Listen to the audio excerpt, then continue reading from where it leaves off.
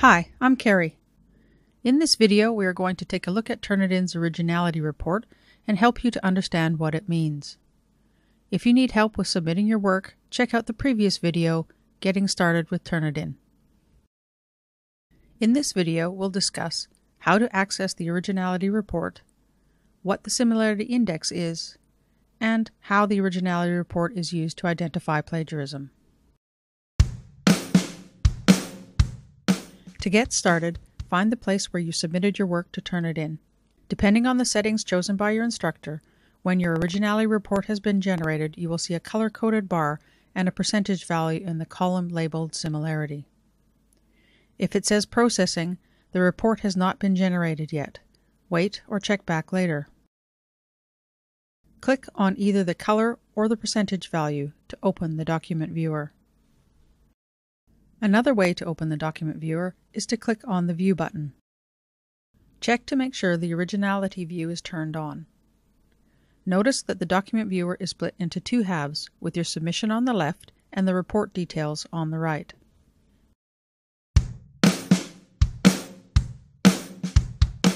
The similarity index is found at the top right.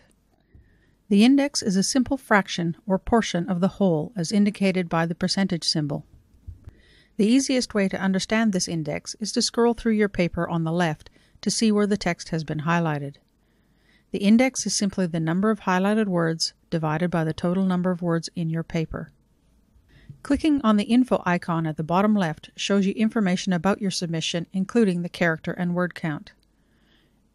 It also gives you a breakdown of the percentage match value into the percentage that matches sources in the database that originate from the internet, from publications, or from student papers. The similarity index does not mean this is the percentage of your work that has been plagiarized. It is up to you and your instructor to evaluate the matches and to determine if any parts are plagiarized or not. Turnitin is a text matching tool. Its job is to check if any portions of your paper match other source material stored in the database. The database includes information from the Internet, textbooks, and scientific journal articles, and all student assignments previously submitted to Curtin or to any academic institution around the world. If in your document on the left a passage of text is highlighted, that section of text matches another source and may have been copied. Next to the highlighted section is a number. On the right side of the screen is the match overview and a list of sources. The source that has the same number as the highlighted text in your paper contains the same passage of text. There may even be several sources that contain that text. These are listed in the match breakdown if you click on the arrow that appears when you hover over the source percentage. What is most important to note here isn't whether you specifically copied from the top source or from any of the sources listed, but rather that the passage of text in your assignment does match a source and thus may have been copied. If your submission contains highlighted text, it may be determined that you have plagiarized the work of others. Your instructor will consider both the amount of text and the parts of the paper that are highlighted. Highlighting in sections of your paper that are critical to your demonstration of the learning outcomes for the assessment are particularly dangerous. Now, there are also instances where text matching to another source does not indicate plagiarism. These are sometimes called innocent matches. These are sections of text that can be reasonably expected to match other student submissions or other sources. Examples include headings or a restating of the assignment question. Phrases specific to your discipline or descriptions of common procedures or scientific methods are further examples of things that might be expected to match because they cannot be expressed in any other way. Innocent matches are generally not indications of plagiarism, even though they will be highlighted and thus will contribute to the similarity index score.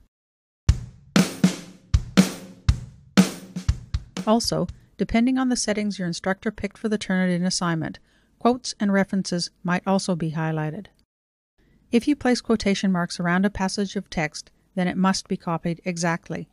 Some instructors exclude quotes from the calculation of the similarity index, while others include them to check that you have quoted accurately.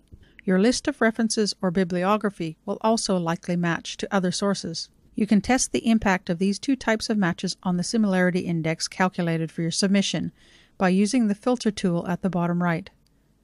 You can turn on or turn off the exclude quotes or exclude bibliography settings, and then click on the Apply Changes button at the bottom to recalculate the similarity index.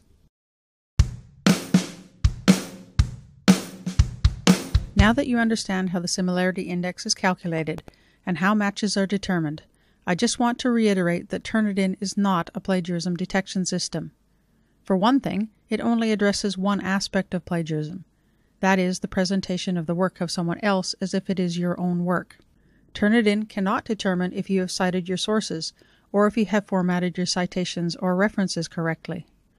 Turnitin is simply a tool that your instructor can use to help them in their evaluation of academic integrity and detection of plagiarism.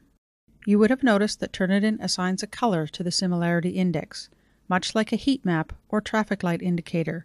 It ranges from blue for zero matches and green for an index score less than 25%, through orange and red for higher index scores. Sometimes students ask questions like, Is there a percentage that automatically means I have plagiarized? Or, if the index is below a certain value, is it safe? The answer is there are no thresholds for filtering submissions as either containing or being free of plagiarism. Each submission must be considered individually. While scores with the orange and red labels are more likely to indicate that plagiarism may be present, it is possible to have a high index score and no plagiarism. Similarly, it is possible to have a score of zero or very low, and yet the submission can contain plagiarism. Student discussions about a safe index often stem from a misinterpretation of the copyright regulations that allow students to copy up to 10% of a source for study purposes. This means you can copy a source either by photocopying or downloading a file to allow you to refer to the source at a time that is convenient for you. It does not mean that you can copy any of that source without appropriate paraphrasing and referencing. Plagiarism detection is a process that must be carried out by the person reading and interpreting your submitted work. The Turnitin Originality Report assists them by drawing their attention to passages of text that match other sources. But the decision about what that match means and whether or not it may be plagiarism is an academic judgment made by the instructor. The next video talks about what to do about the highlighted portions of your submission. Further information about Turnitin, plagiarism, and academic integrity is available on Curtin's Academic Integrity website. You can easily access the website from inside Blackboard using this tab, which is always displayed regardless of where you navigate to within your units.